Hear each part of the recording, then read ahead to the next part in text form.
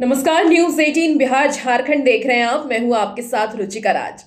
बिहार सरकार की तरफ़ से अब बिहार के मुसलमानों को बड़ा तोहफा दिया गया है। बिहार सरकार की तरफ़ से, नीतीश कुमार की तरफ़ से क्या कुछ तोहफा मुसलमानों को दिया जाएगा। आइए इस वीडियो में हम आपको विस्तार से बताते हैं। बता दें कि बिहार सरकार सुन्नी और सिया वल्फ बोर्ड के तहत रजिस्टर्ड प्रॉपर्टी के विकास के लिए multipurpose building building hall market complex और अन्य इंफ्रास्ट्रक्चर के निर्माण की तैयारी कर रही है। अल्पसंख्यक कल्याण मंत्री जमा खान ने सोमवार को इसकी घोषणा करते हुए ये कहा कि सरकार ने राज्य के विभिन्न हिस्सों में किस नए मदरसे स्थापित करने का भी निर्णय लिया है। खान ने यह भी कहा कि पटना पूर्णिया कैमूर कटिहार, किशनगंज, नवादा और सिवान में 2023-24 में बहुउद्देशीय भवन, बाज़ार परिसर और लाइब्रेरी के निर्माण के लिए 10 परियोजनाएँ प्रस्तावित की गई थी।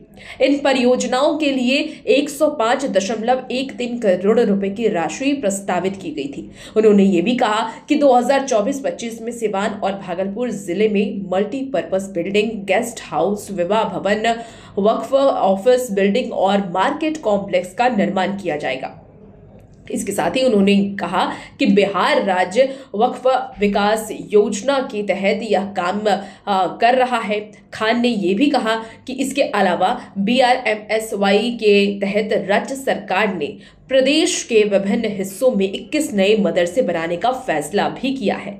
हाल ही में राज्य में 10 मदरसों का निर्माण कार्य पूरा हो गया है। मंत्री की तरफ़ से इस बात की भी जानकारी दी गई कि B R M S Y के तहत मदरसों की बुनियादी ढांचे और शिक्षा व्यवस्था को मज़बूत करने के साथ पेयजल, library, toilet, computer science lab और ऐसी और भी सुविधाएँ प्रदान की जाती है। इस योजना की शुरुआत 2018-19 में की गई थी। पिछले साल पूर्णिया में दो और नालंदा और पूर्वी चंपारण में एक एक मदरसों के लिए बत्तीस दशमलव तीन नौ करोड़ रुपए की प्रकाशनिक स्वीकृति दी गई थी।